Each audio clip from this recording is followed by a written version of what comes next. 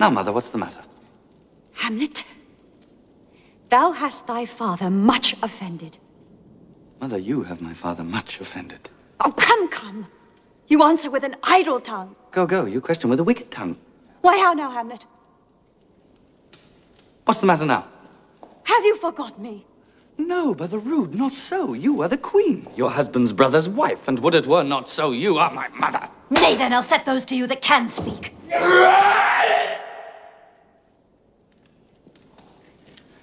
Come, come and sit you down. You shall not budge.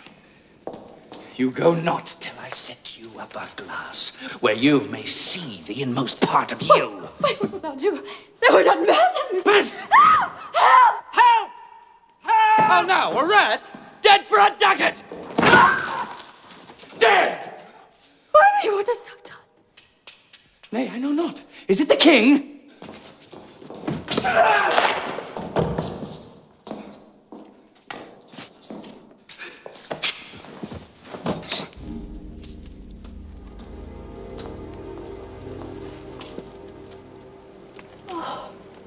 What a rash and bloody deed is this.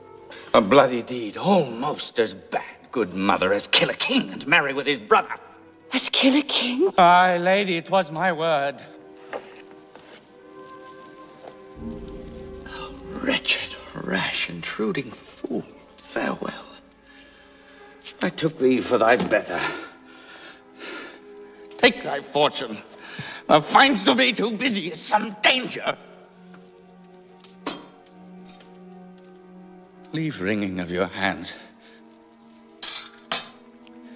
Peace, sit you down, and let me wring your heart, for so I shall, if it be made of penetrable stuff.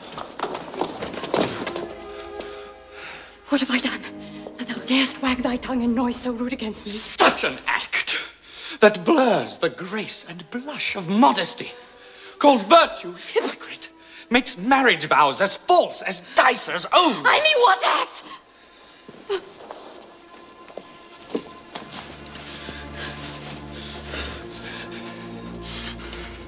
Look here upon this picture and on this. The counterfeit presentment of two brothers. See what a grace was seated on this brow. A combination and a form indeed, where every god did seem to set his seal, to give the world assurance of a man. This was your husband. Look you now what follows. Here is your husband, like a mildewed ear blasting his wholesome brother. Have you eyes? Could you on this fair mountain leave to feed and batten on this moor? Have you eyes? You cannot call it love. For at your age, the heyday and the blood is tame, it's humble, and waits upon the judgment. And what judgment would step from this to this? Eyes without feeling, feeling without sight. Oh, shame, where is thy blood? Speak no more. Thou turnst my eyes into my very soul, and there I see such black and grained spots as will not leave their chambers. Nay, but to live in the rank sweat of an enseamed bed, stewed in corruption, honeying and making love over the nasty sty. oh, speak to me no more. These words like daggers entered mine ear. No mm. more, sweet Hamlet. A murderer and a villain, No. a cutpurse of the empire and the rule, a king of shreds and patches.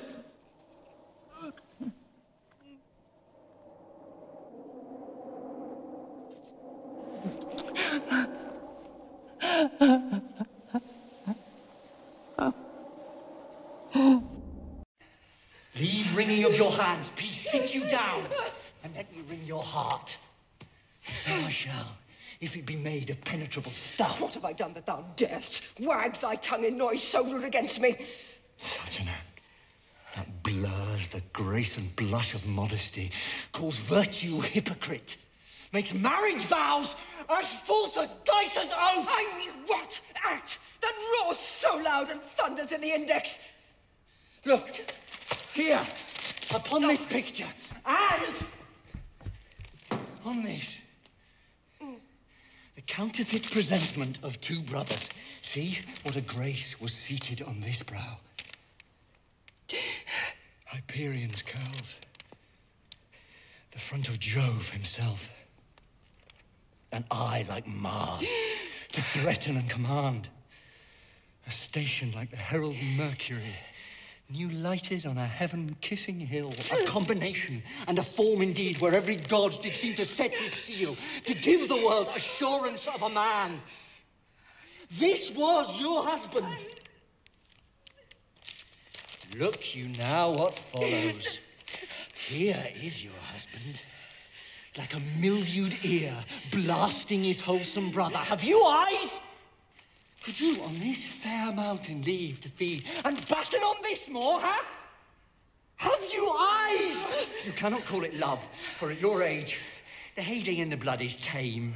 It's humble and waits upon the judgment. And what judgment would step from this to this? What devil wast that thus hath cozened you at Hoodman blind? Eyes without feeling, feeling without sight, ears without hands or eyes, smelling sounds all, or oh, but a sickly part of one.